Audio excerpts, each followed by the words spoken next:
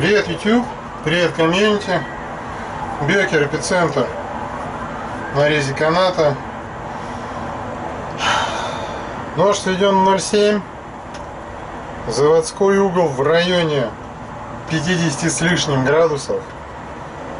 То есть, э, э, скажем так, если этот нож, вид G10 на клинке, если этот нож пройдет хотя бы 40 резов, это будет чумовым достижением. Вот. Я чуть-чуть выгладил РК, как заточка, скажем так, была довольно-таки неприятной. Сейчас нож довольно уверенно режет бумагу. Вот. Но, тем не менее, да, то есть 50 градусов это кошмар, включая плюс к заточке, плюс к сведению, да, плюс к такому сведению. У меня абсолютно нет никаких идей, зачем делать такое ломовое сведение на таком ноже. Но бекер это бекер, ему виднее. Ну, погнали. Раз. Ну, вы сами видите. Это не совсем, чтобы хороший рез. Три. Четыре. Пять. Шесть. Семь. Восемь, девять, десять. Прошли десять, но печально, печально.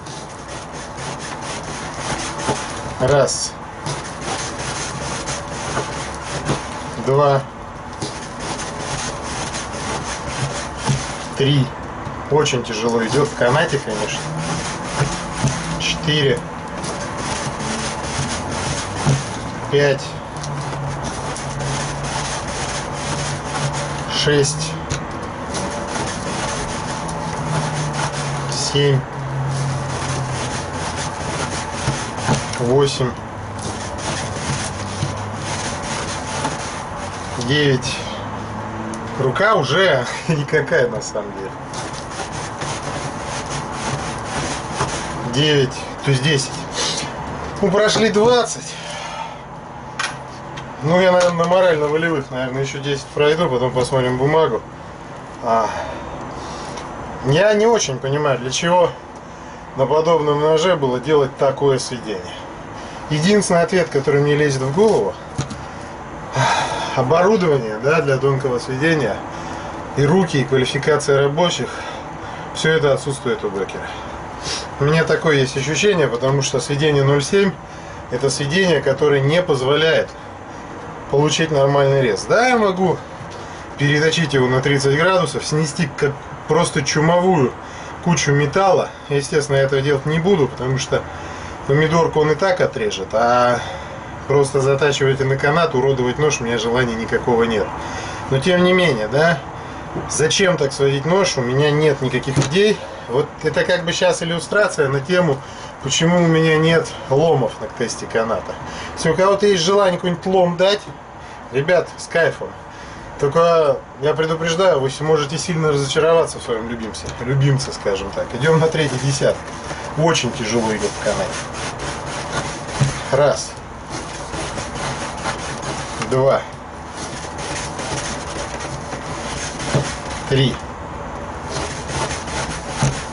Четыре, пять, шесть. Рука просто взрывается. Семь, восемь. Твою мать. Девять. Ну, десяток сделаем.